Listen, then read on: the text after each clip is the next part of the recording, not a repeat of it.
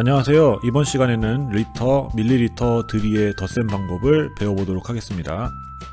우선 리터와 밀리리터 사이의 관계를 살펴보겠습니다. 1리터는 1000밀리리터와 같습니다. 다음으로 들이의 덧셈에서 가장 기본적인 규칙을 살펴보겠습니다.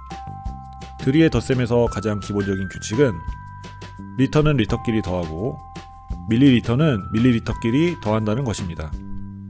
한편 드리의 덧셈에는 두 가지 경우가 있는데 첫 번째 받아올림이 없는 경우와 두 번째 받아올림이 있는 경우입니다. 이제 앞서 설명한 내용들을 염두에 두며 예시 문제를 살펴보도록 하겠습니다. 첫 번째 예시 문제는 드리의 덧셈 계산 중 받아올림이 없는 경우입니다. 1리터 300ml 더하기 2리터 200ml입니다. 이 문제는 덧셈 과정 중 받아올림이 없기 때문에 리터는 리터끼리, 밀리리터는 밀리리터끼리 편하게 더해주시면 됩니다. 우선 300ml와 200ml를 더해주면 500ml입니다. 이어서 1리터와 2리터를 더해주면 3리터가 됩니다. 즉, 이 문제의 결과는 3리터 500ml가 됩니다. 이제 들이에 받아올림이 있는 예시 문제를 살펴보도록 하겠습니다. 2리터 700ml 더하기 1리터 500ml입니다.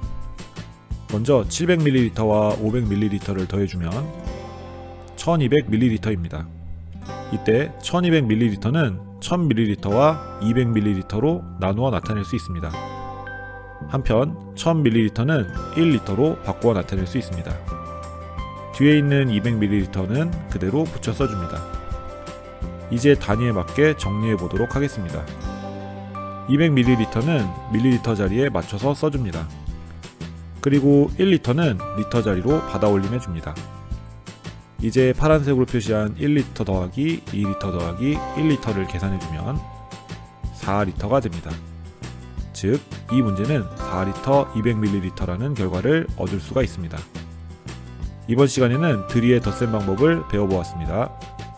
드리 단위 사이의 관계와 단위끼리 맞춰서 더한다는 규칙을 기억하신다면 드리의 덧셈을 쉽게 하실 수 있으실 것입니다. 영상을 반복하여 배운 내용을 확인하시기 바랍니다. 감사합니다.